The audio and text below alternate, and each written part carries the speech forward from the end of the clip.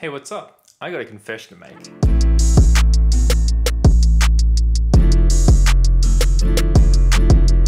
So, my confession is this.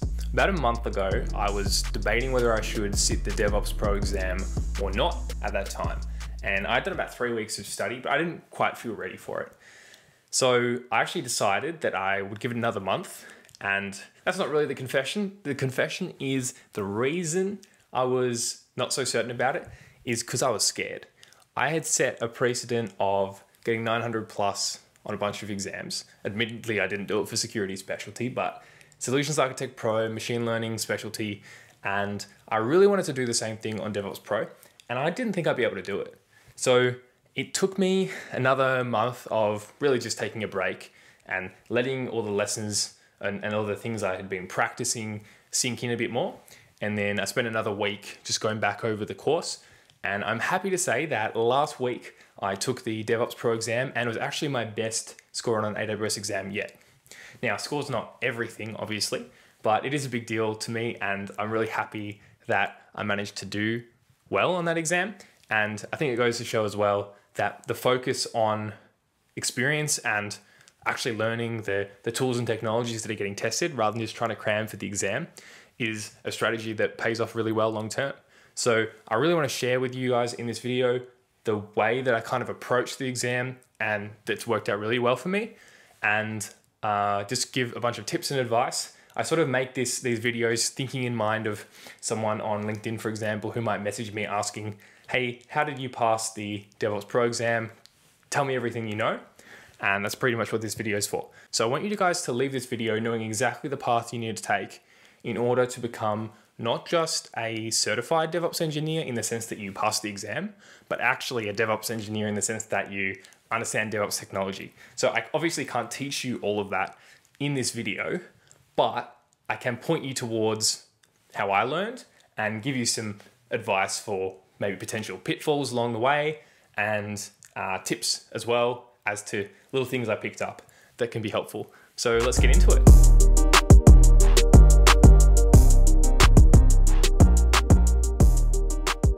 So, first things first, what is DevOps? It's a word that gets thrown around a lot. It's a bit of a buzzword, you know, blockchain and machine learning and so on.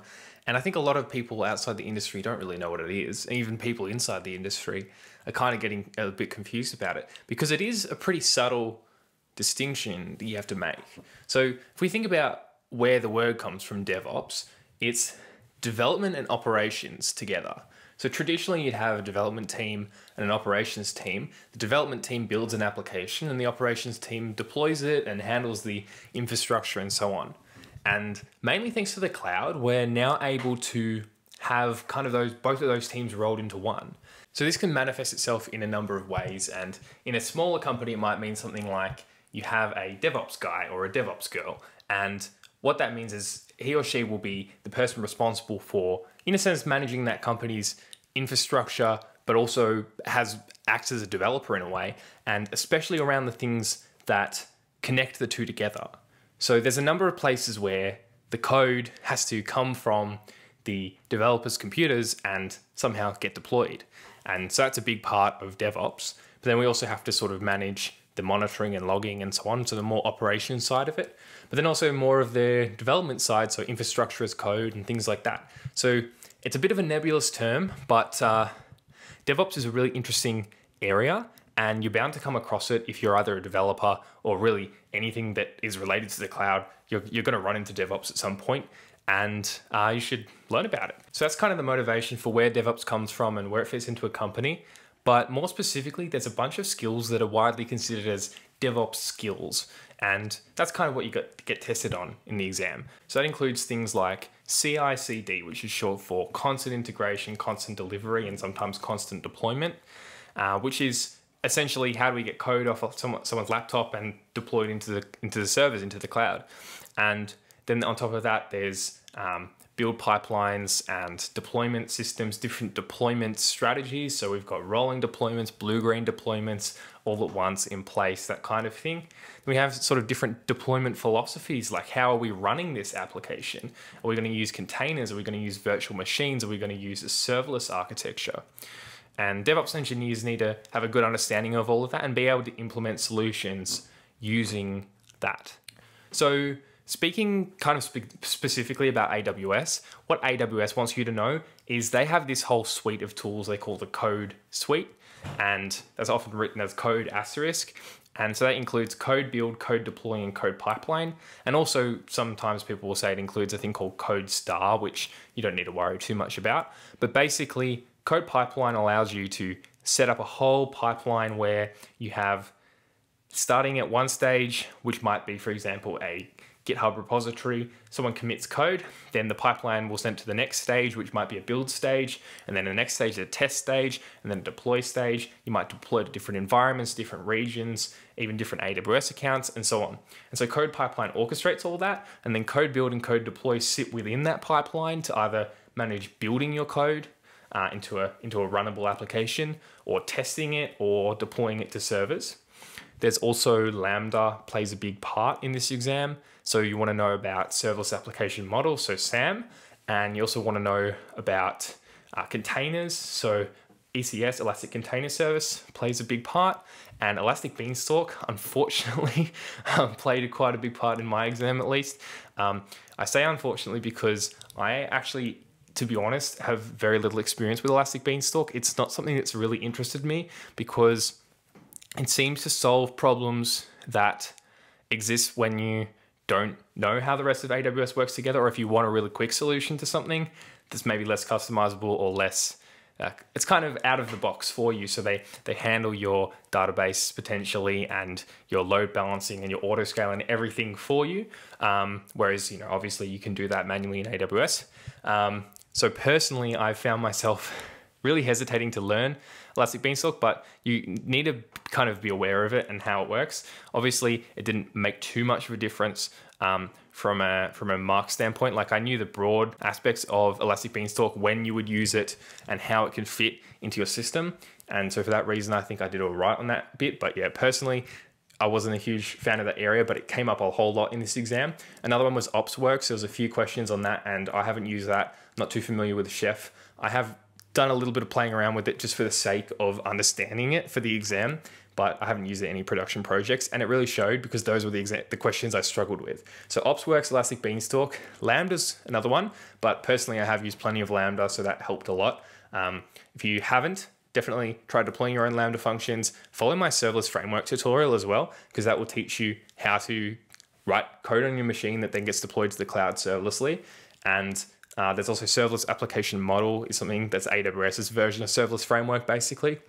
CloudFormation plays a big role. So infrastructure as code is this whole section on the exam, and you really need to know that to a pretty good level. So that's including things like CFN Hup and CFN Init, which is how do you make CloudFormation cause updates on your EC2 instances, for example. It's a pretty advanced concept. Uh, then we also have things like custom resources. When would you use them? You don't really need to be able to write them, but uh, you need to be able to read CloudFormation and understand what it's saying.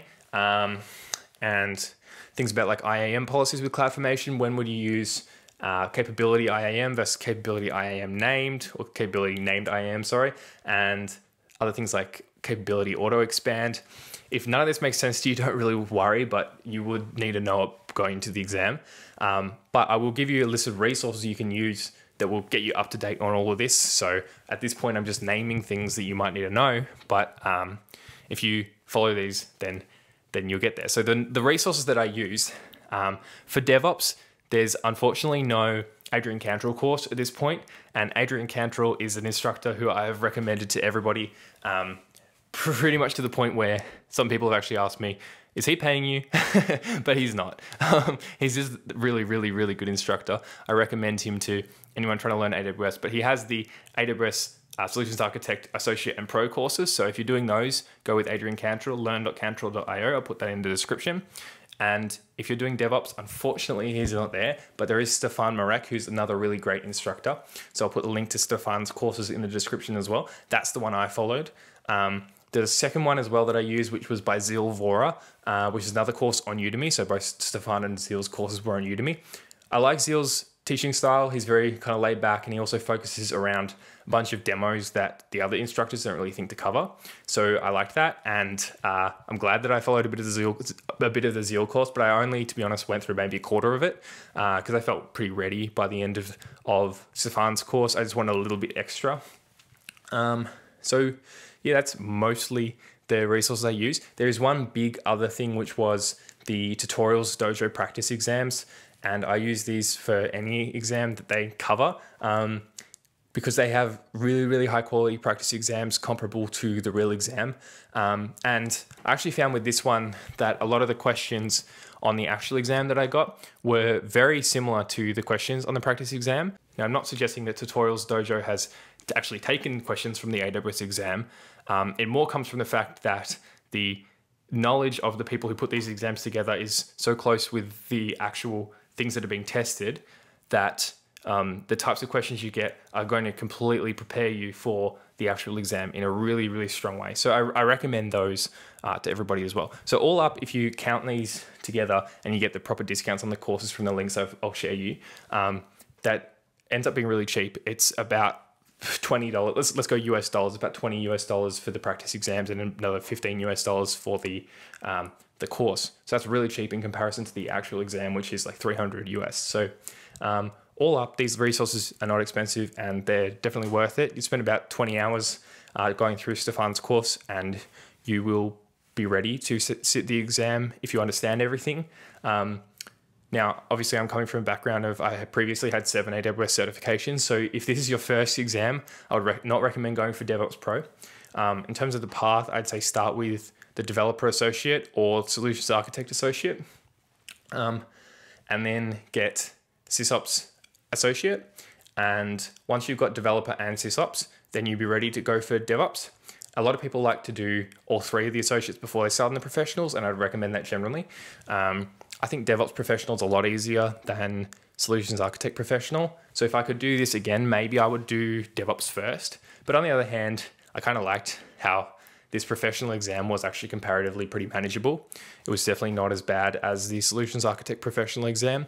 And I, I found that I was exhausted after doing solutions architect professional, but that wasn't so much the case after doing the DevOps Pro. Anyway, that's a bit of a brain dump for you. So hopefully that covers really everything that is important to know going into this exam. But that's how you prepare from the AWS standpoint and sort of the services that you'd need to cover. And more broadly speaking, if you want to become a DevOps engineer, there's a really good roadmap on roadmap.sh, which I'll share the link as well. And that provides a lot of info about some of the other services that are really widely used. So I mentioned Elastic Container Service, which runs on Docker in a way. So you've got uh, Docker containers running in your VMs in the cloud. And there's another service there's another system that does the same thing called Kubernetes, which you, you may or may not have heard of, and it's kind of more industry standard. So AWS has their own thing; it's a lot simpler. You can run Kubernetes on AWS though, and uh, Kubernetes is considered one of those like big DevOps things. So if you want to, you know, go and get a DevOps job, uh, knowing Kubernetes, knowing Docker, maybe something like Ansible, Terraform as well. So Terraform is kind of like CloudFormation, but generalized not just to AWS, so works on other cloud providers as well. Um, those are some of the tools that you might want to look at, and um, there's plenty of resources for how you can go about learning those. And the other thing as well is I was talking about the code suite, so code build, code deploy, code pipeline. There's plenty of tools out there, generally known as CI/CD. It's really its whole industry. You've got Circle CI, you've got GitHub, you've got GitLab, um, you've got Jenkins, and really too many to name in terms of providers for this. Personally, I've used GitLab CI and Circle CI before learning code build, and the skills are extremely transferable. So if you learn one, then you're, I'd say, probably halfway towards learning, learning the other. The fundamentals are all really pretty much the same between all of them, but you're going to have specific differences in terms of the, conf, the types of config files that you're writing and so on.